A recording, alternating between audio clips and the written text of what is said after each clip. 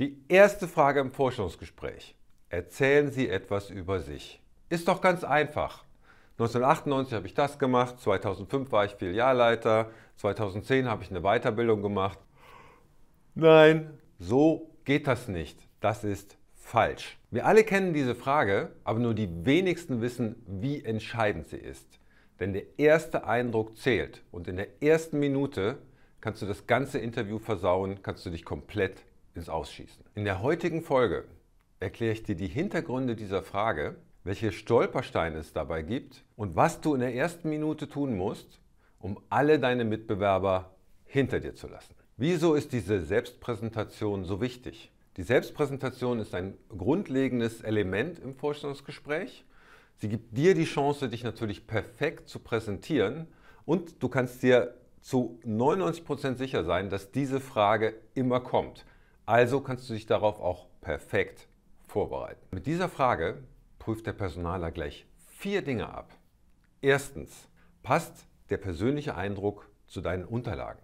Zweitens, gibt es Widersprüche? Drittens, schaffst du es, das Ganze selbstbewusst und sicher rüberzubringen? Und viertens, passt das, was du erzählst, zum Unternehmen und gibt es einen Bezug zur ausgeschriebenen Stelle? Und genau deshalb hat diese Frage einen sehr hohen Stellenwert im Bewerbungsgespräch. Und du kannst hier vieles falsch machen. Aber mit der richtigen Vorbereitung kannst du hier einen riesen Pluspunkt gleich am Anfang des Gesprächs sammeln und ja, den Verlauf des weiteren Gesprächs bestimmen. Und wie du das genau machst, mit ein paar ganz einfachen Tricks, das erzähle ich dir jetzt. Was beinhaltet eine gute Selbstpräsentation? Sie beinhaltet nicht, dass du einfach von der Grundschule über deinen Freischwimmer bis zu dem jetzt machst, einfach alles runterratterst. Sondern es geht darum, dass du das ganz fokussiert erzählst und ganz klar Bezüge herstellst zu dem, was du bis jetzt gemacht hast, deine Erfahrungen und Kenntnisse und dem, was das Unternehmen erwartet. Das ist der entscheidende Punkt.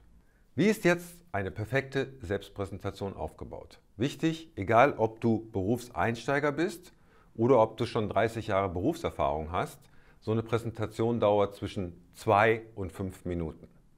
Und deswegen solltest du dich gut darauf vorbereiten. Um es perfekt zu machen, kannst du dich an der Drei-Schritte-Formel orientieren. Ich bin, ich kann, ich will. Ich bin, da geht es vor allen Dingen um die Fakten, was hast du wann gemacht.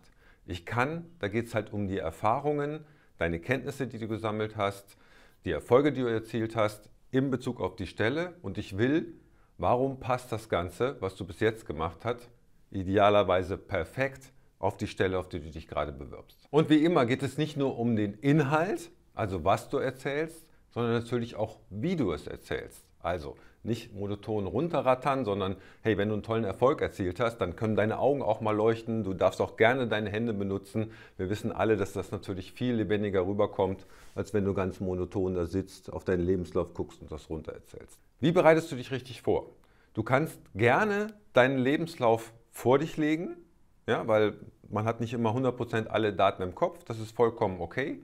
Und das Beste, was du natürlich machen kannst, dass du das vorher ein paar Mal übst. Das heißt, du weißt, du gehst zum Vorstellungsgespräch oder du hast ein Video-Interview, du gehst es einmal durch. Entweder mit jemandem, den du kennst, der dir gegenüber sitzt, du kannst es aber auch auf Video aufnehmen und dann kannst du es dir später nochmal anschauen und sagen, ah, das könnte ich noch ein bisschen besser machen. So bekommst du Routine. Ja, und so kannst du auf die wichtigsten Punkte eingehen.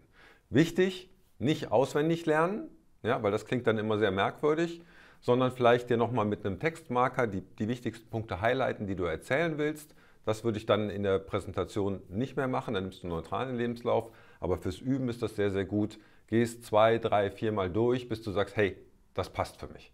Dabei kommt es nicht darauf an, dass du penibel jede einzelne Position aufzählst und beschreibst. Über manche kannst du vielleicht eher hinweggehen, weil sie nicht so relevant sind. Und über andere, da gibt es eher einen Schwerpunkt, weil du sagst, hey, das, da gibt es Punkte, die ich da gemacht habe, die halt perfekt zum Unternehmen und der Stelle passen. Wie sieht das Ganze in der Umsetzung aus? Hier habe ich eine klare Anleitung für dich und es gibt ein paar richtig coole Tipps, mit denen du ganz einfach andere Mitbewerber ausstechen kannst, indem du einfach viel, viel besser bist. So, der erste Trick erfordert ein bisschen Mut. Das bedeutet nämlich, dass du, wenn du diese Frage gestellt bekommst, führen Sie uns doch bitte mal durch Ihren Lebenslauf, stellen Sie sich bitte mal vor, dass du dort nochmal eine Frage stellst. Also Vielen Dank für die Einladung, mache ich sehr, sehr gerne. vielleicht vorab noch eine Frage. Wenn Sie jetzt an diese Stellenbesetzung denken und Sie stellen sich vor, der Stelleninhaber ist da. Was sind die wichtigsten Eigenschaften? Was sind die wichtigsten Kenntnisse, die so jemand mitbringen müsste, damit Sie sagen, die Stelle ist perfekt besetzt? Der Vorteil an dieser Frage ist, dass du natürlich nochmal Hinweise darauf bekommst, welche Punkte du in deinem Lebenslauf ganz besonders betonen musst. Das ist schon mal super entscheidend. Auch wenn du diese Frage nicht stellst, dann musst du natürlich Annahmen treffen, die du aus Vorgesprächen hattest oder die du aus der Stellenanzeige hast. Aber es ist immer noch mal gut, das zu hinterfragen. Du kannst zum Beispiel auch sagen, also so wie ich das richtig verstanden habe, geht es Ihnen bei dieser Position vor allen Dingen um den Punkt erstens, zweitens, drittens. Sehe ich das richtig?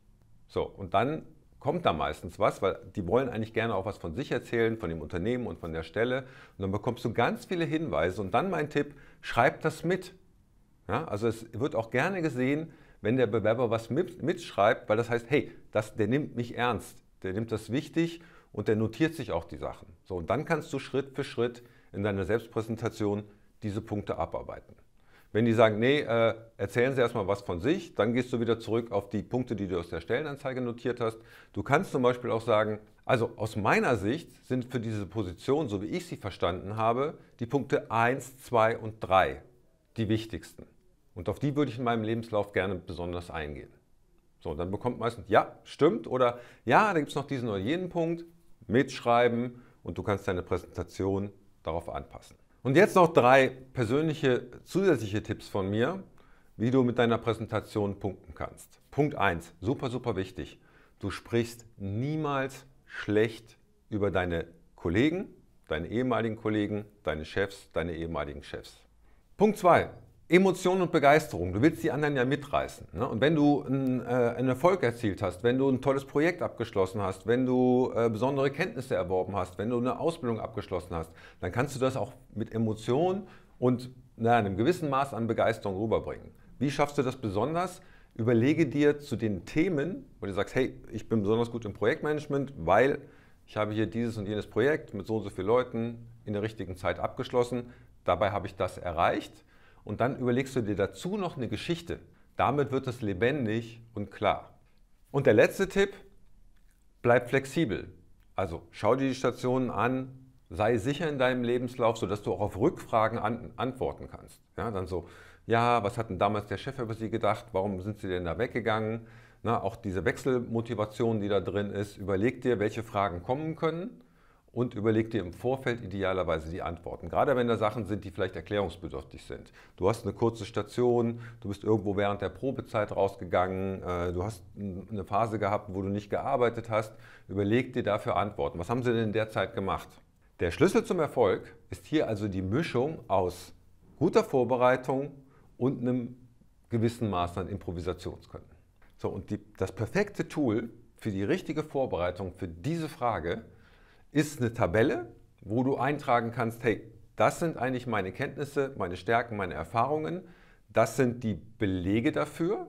Also wir hatten ja gesagt, hey, Projektmanagement, Projekt 1, 2, 3 mit diesen und jenen Ergebnissen und idealerweise die eine oder andere Geschichte dazu, möglicherweise sogar ein Testimonial. Das, damals hat mein Chef gesagt, hey, wenn der nicht gekommen wäre, wenn sie nicht gekommen wäre und das Projekt hier übernommen hätte, dann wären wir in Riesenprobleme gekommen. Solche Sachen sind immer mega stark. Und wie du das für dich aufbaust, dazu habe ich eine extra Folge für dich aufgenommen, wie du diese Checkliste aufbauen kannst. Und ich, es gibt sogar einen Download, wo du diese, ein Muster für diese Checkliste, das du selber ausfüllen kannst, runter, kostenlos runterladen kannst. Den Link findest du hier unten und natürlich in den Shownotes vom Podcast.